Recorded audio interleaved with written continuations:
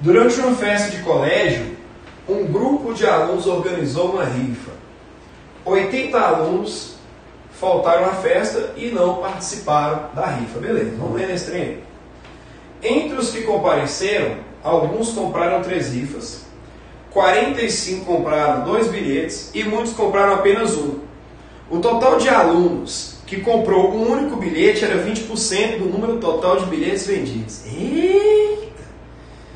E o total de bilhetes vendidos excedeu em 33 o número total de alunos do colégio. Eita, nós! Quantos alunos compraram somente um bilhete? Gente, vamos devagar? Vamos lá? Vamos comigo aqui? Vamos delícia. Vamos começar pelo número da questão, 143. Olha só, máquina. Durante uma festa de colégio, o grupo de alunos organizou. 80 alunos faltaram. Então, faltaram à festa 80 alunos. Depois, entre os que compareceram, então tudo que eu falar agora é que compareceu. Alguns compraram três bilhetes.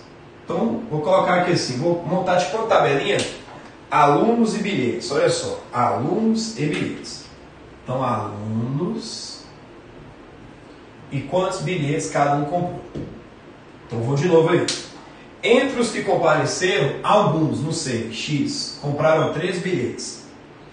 45, números são bem-vindos nesse momento. Compraram dois bilhetes. E muitos, apenas outra letra, compraram um bilhete.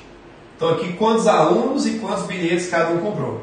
E tem aquela galera ali, a 80. Compraram quantos? Zero bilhetes. Deixa eu colocar aqui logo.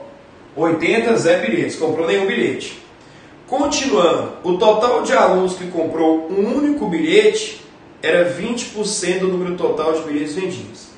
Os alunos que compraram um único bilhete é Y. Então, ó, o total de alunos que comprou um único bilhete é 20%, 20% do total de bilhetes vendidos, 20% do total de bilhetes vendidos. Guarda isso aí que deve ser importante. O que mais? O total de bilhetes vendidos, total de bilhetes vendidos, total de bilhetes vendidos, excedeu em 33 o número total de alunos. O que, que é isso? O total de bilhetes vendidos é o total de alunos mais 33. Total de bilhetes vendidos é o total de alunos, total de alunos mais 33. Tá aí, gente, as equações. Vão sofrer, né? Vamos lá, gente.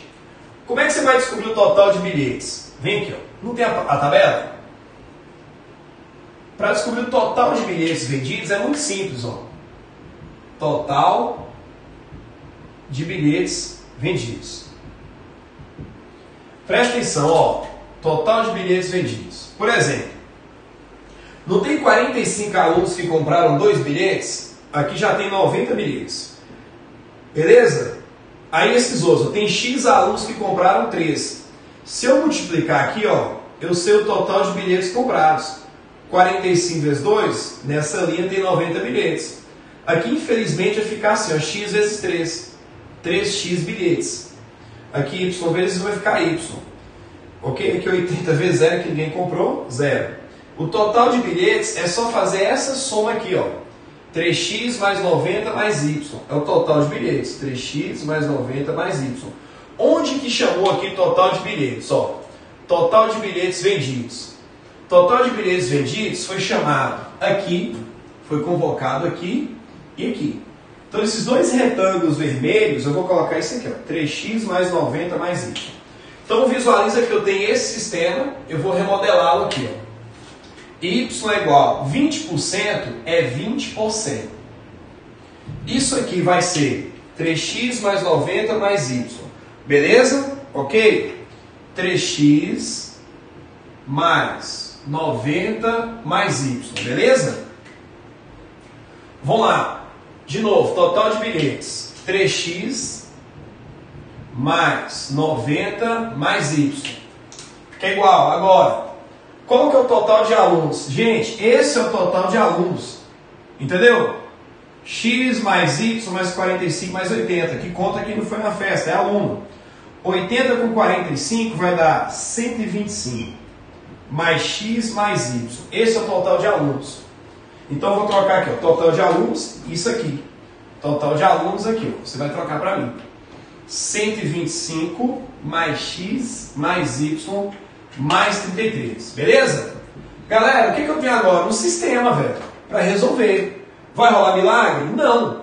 Ó, cancela esse zero aqui. Faz o seguinte, tá vendo esse 10 que está dividindo? Passa multiplicando, vamos lá. 10 vezes y, 10y. O 2 pega todo mundo que está aqui dentro. 2 vezes 3x, 6x. 2 vezes 90, 180. 2 vezes y, 2y. Vamos arrumar o sistema. Galera, o que mais que eu vou fazer aqui nesse sistema? Aqui tem y, hum, aqui ficou massa, ó. Se eu não tiver errado, tá massa. Tem y dos dois lados, velho. Hum, ajudou. Esse x está positivo e vem negativo. 3x menos x, 2x. Esse 90 vou passar para o outro lado. 125 menos 90 vai dar o quê? 35. Beleza? 125 menos 90 vai dar 35. Tô certo? 35 com 33 vai dar aí 68. Ah, ficou de boa. 2 está multiplicando, vem dividido. 68 por 2, 34. X é 34. Beleza? X é igual a 34. Brother, X é 34. O que está querendo? Quantos alunos compraram somente um bilhete? Sempre assim, você acha tudo que não quer. O que você quer é o Y, vai achar por último. Ah, Maria. Vamos lá, máquina, vem comigo, ó. Vamos desenvolver essa parada aqui. Vem, me ajuda. Você tem aqui 2Y. Vem para cá negativo logo. 10y menos 2y, 8y. Vamos lá. Aqui vai ficar 6x mais 180. 6x mais 180. Deixa eu te dar uma ideia. Você pode trocar o x por 34, só que eu estou com preguiça. Faço pelo menos isso. Ó. Divide todo mundo da equação por 2 para ficar menos pior. 8y por 2, 4y. 3x e aqui 90 para ficar melhor. Beleza? Não estou olhando mais coisa para melhorar. Acho que não tem mais nada para melhorar. Três vezes. Ó, galera, no lugar do x, você coloca 34. 34 mais 90. Vai dar conta? Claro, gente, é matemática a matéria. Vamos lá. 3 vezes 34, 3 vezes 30, 90. 3 vezes 4, 12. Então vai dar aí 90 mais 12, já vai dar aqui 102. Beleza? Ok? 102 mais 90, 4y igual a 192. Ok, 4 está multiplicando, passa dividindo, né? Vai, pensa comigo aqui, ó. 192 por 4. 192 é 160 mais 32. 160 por 4 é 40. 32 por 4 é 8. 40 mais 8, 48. Beleza? 40 mais 8 é 48. Beleza, máquina? Tá aí, 40 mais 8, 48. Então, o que, que acontece? Letra D, 48 alunos. Ok?